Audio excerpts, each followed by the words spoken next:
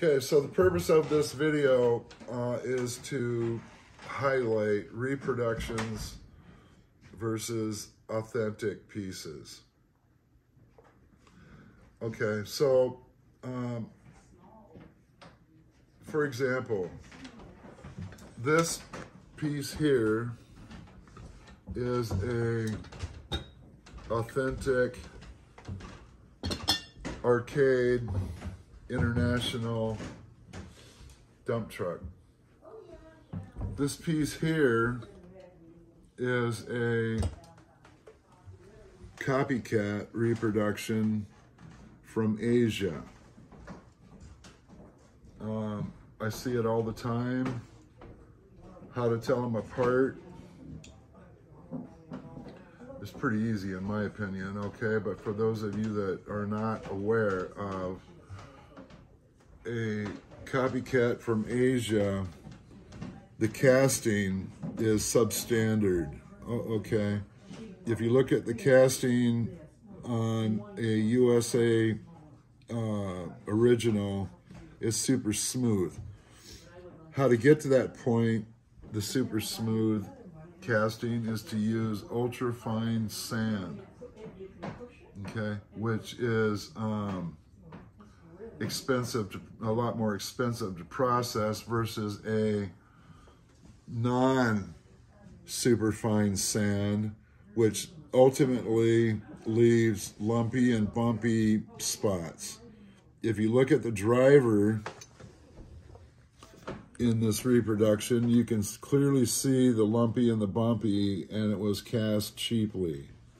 If you look at the um, the lift for the dump truck, you can see that it's, it's substandard. There's an old saying, made in the USA is uh, quality, okay?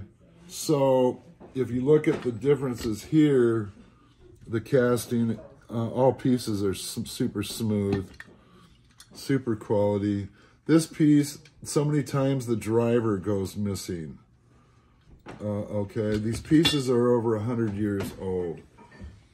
Another way to tell is if you look at the, the driver on this one, you can see the hex nut holding the driver in. Okay, that's a telltale sign because it should be uh, a square nut.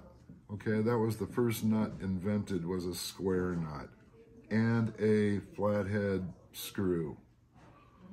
Okay, so um, the thing about this piece is that, this reproduction that is, if you look on the inside, these slip through USA Customs.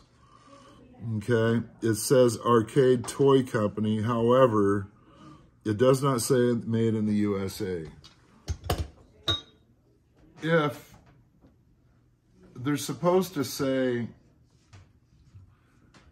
I, I can't quite remember the law when it was passed, okay? Because there was a law passed in the United States, Congress passed, because of the, um, it's not just cast iron toys that are being copied.